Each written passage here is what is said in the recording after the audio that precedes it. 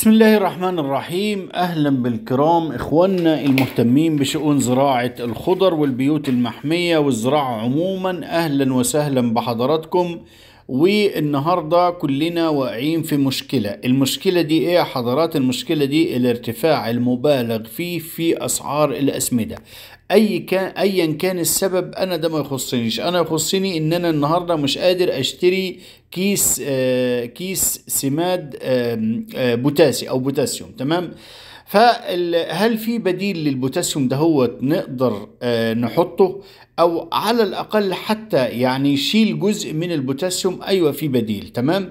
بس أرجو إنك تكمل معايا الفيديو للآخر عشان أوصلك الفكرة كاملة واستحملني في النقطتين اللي هقولهم دول تمام؟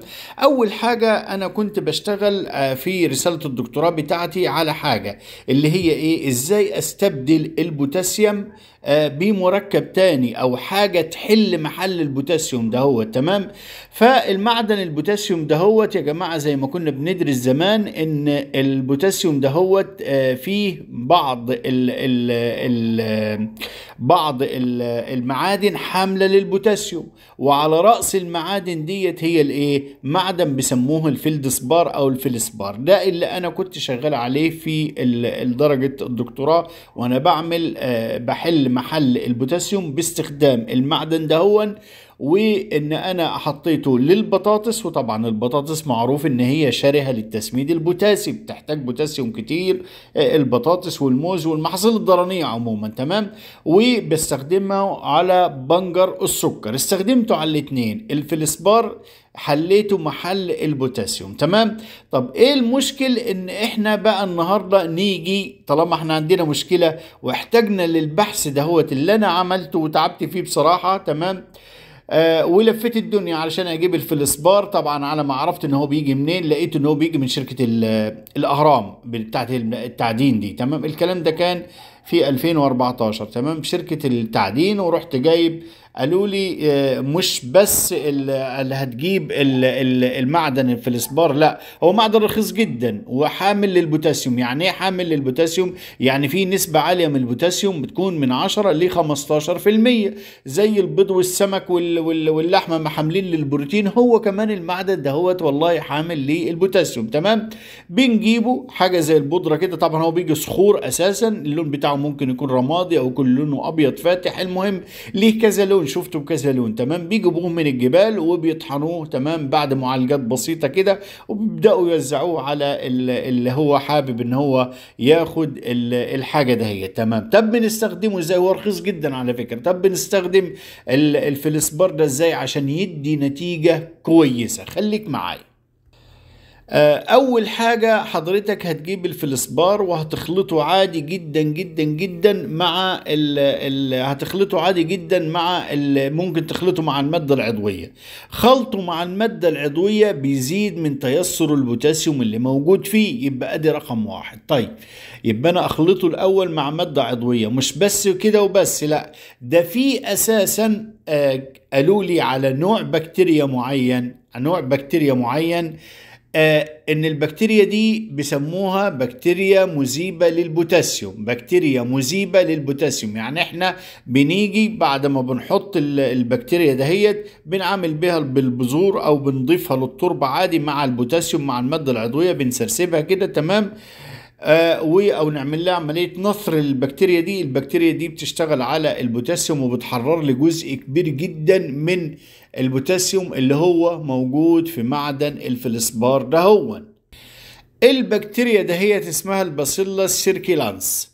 بس باسيلا سيركيلانس دي آه بكتيريا بتروح تجيبها زي بكتيريا الأزوتوباكتر اللي إحنا بنجيبها بتاعت البقوليات دي بتجيبها هم معبيين البكتيريا ديت أو حاطينها على بيتموس بتجيب أنت وبتفرد. رخيصه جدا برضو البكتيريا دي وكمان الفلسبار ده هو رخيص جدا. طيب.